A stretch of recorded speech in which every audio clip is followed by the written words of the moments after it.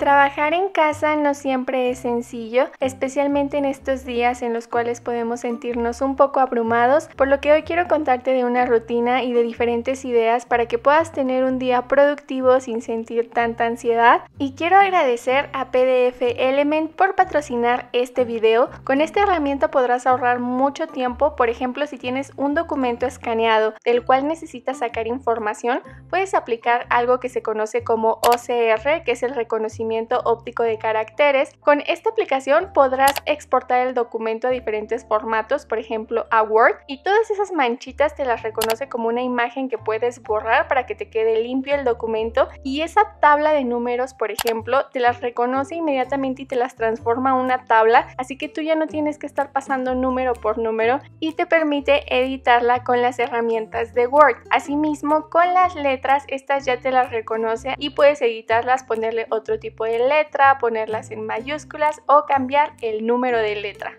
Con esta herramienta también podrás subrayar documentos, ya sea libros, artículos, etc. Y también te permite escribir en documentos PDF, por ejemplo, si tienes que llenar una solicitud con tu nombre, tu correo, puedes hacerlo de forma muy sencilla, colocarle el tipo de letra que tú quieras, acomodarlo. Y si en este caso eres tú quien necesita que otras personas te llenen una solicitud, puedes crear tu PDF con formularios para que las personas tengan ahí el espacio y puedan colocar el texto de forma muy sencilla y también puedes hacer firmas digitales, puedes elegir el color que quieras, el grosor, así que te dejo el link para descargar PDF Element aquí abajito en la descripción. Para poder comenzar con un día productivo es importante despertarnos temprano.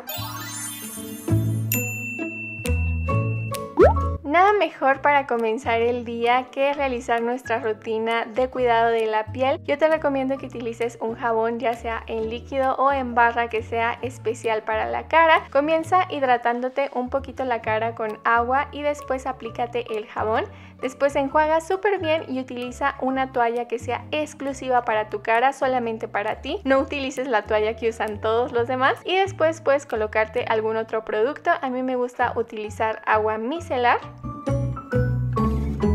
Para finalizar, es importante que hidratemos nuestra cara con un poco de crema.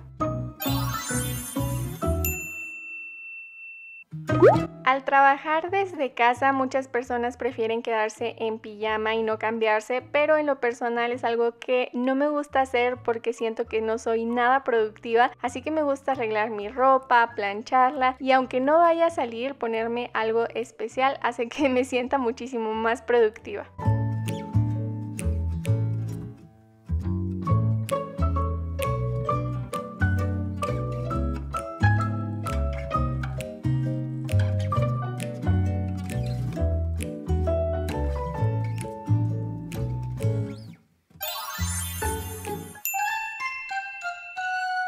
Al igual que con la ropa, cuando uno trabaja desde casa, lo que menos te dan ganas es de peinarte, pero yo tengo muchísimo cabello, así que si no me peino me da un montón de calor, no me dan ganas de hacer absolutamente nada, soy cero organizada, así que te recomiendo muchísimo hacerte un bonito peinado, a mí me sirve bastante para mantenerme motivada y comenzar para tener un gran día. Para finalizar mi rutina de piel me gusta utilizar un poco de agua de rosas.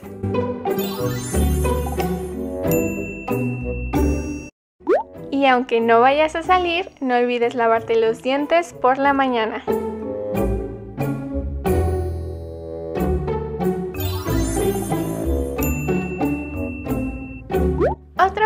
Comenzar bien el día es realizando nuestra cama desde la mañana. Es importante tenderla porque cuando vemos que está todo limpio, en lo personal es algo que me motiva mucho para seguir con mi día.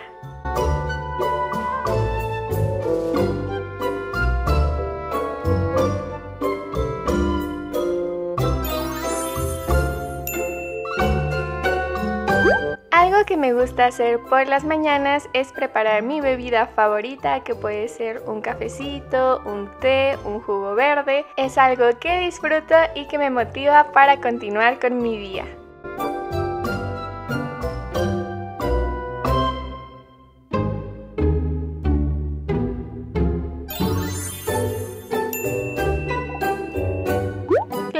El desayuno es una parte muy importante de nuestro día porque a veces cuando estamos en casa dejamos pasar mucho tiempo sin desayunar o desayunamos lo primero que encontramos, así que es importante establecer tiempo para nuestro desayuno y que no terminemos comiendo a cualquier hora o cualquier cosa.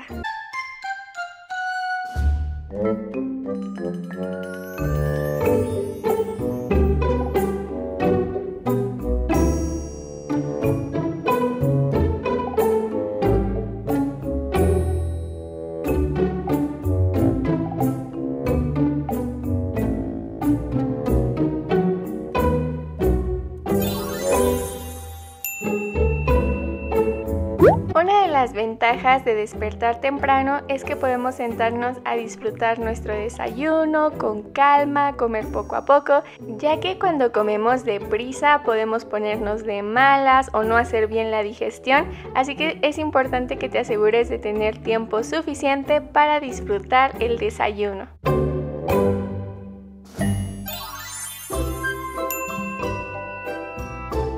Algo súper importante cuando trabajamos en casa es ventilar el espacio y llenarlo de luz, así que asegúrate de abrir las ventanas y también un poco las cortinas que te va a ayudar bastante.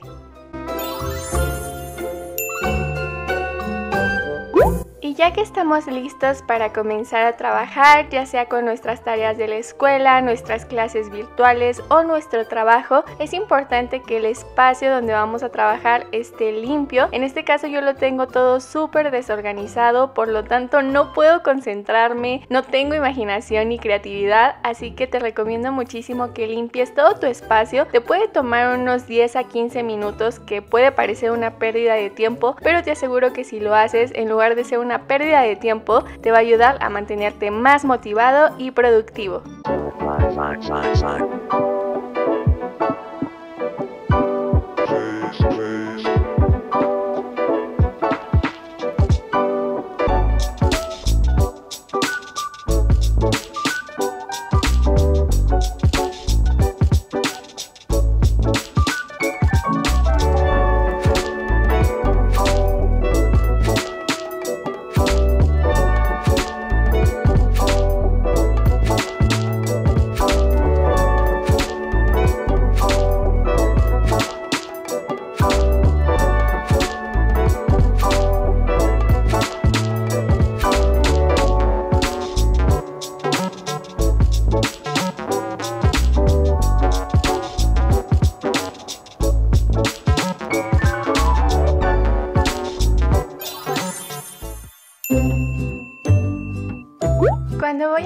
A trabajar, lo primero que me gusta hacer es revisar mi bullet journal para ver cuáles son los hábitos que quiero realizar durante el día, cuáles son mis objetivos, tanto para YouTube como para otras cosas que tengo pendientes. Esto me mantiene súper motivada. Si tú no tienes bullet journal, te voy a dejar una lista de reproducción de videos aquí arribita en donde te enseño cómo hacer uno. Yo tengo esta libreta en la cual anoto todas las actividades que quiero realizar durante el día. Tú puedes tener una libreta designada exclusivamente para esto. Yo coloco un recuadro en la parte izquierda y después anoto la actividad para que de esta forma yo organice mi día y sepa cuáles son las actividades que me van a tomar más tiempo y cuáles son las que me toman menos para así decidir cuáles hacer primero y que pueda terminar todo durante ese día. Aunque claro, es importante no saturarte con mucho actividades porque si no logras todos los objetivos que tú querías ese día porque fueron demasiadas, te puedes sentir triste o con ansiedad. Así que es importante que anotes solamente las actividades que sabes que te va a dar tiempo realizar. Dejo mi bullet journal abierto a mi lado para tener los hábitos del día presentes y después lo que hago es revisar mi correo electrónico. Es muy importante que en esta época sea lo primero que hagamos ya que podemos tener algún pendiente o alguna nota de un profesor o de algún compañero de trabajo, así que no olvides revisar tu correo. Una forma de ser más productivos es trabajar en bloques de 25 minutos, así que coloca tu cronómetro, aleja tu celular y es muy importante que desactives las notificaciones para que no te distraigas. En estos 25 minutos no puedes tocar el celular a menos que sea una llamada o un mensaje muy urgente, ya que el objetivo de estos 25 minutos es que los dediques exclusivamente al trabajo que tienes que realizar sin distracciones y de esta forma verás que vas a terminar muchísimo más rápido y ser más productivo.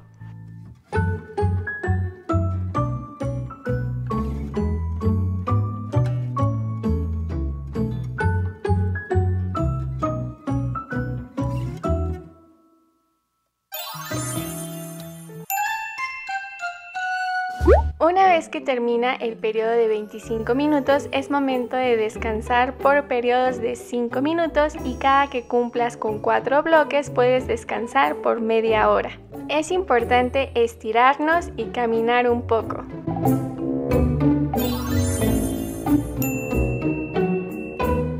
En estos periodos de descanso puedes ir a otra área de tu casa para despejarte, puedes tomar un libro y comenzar a leer.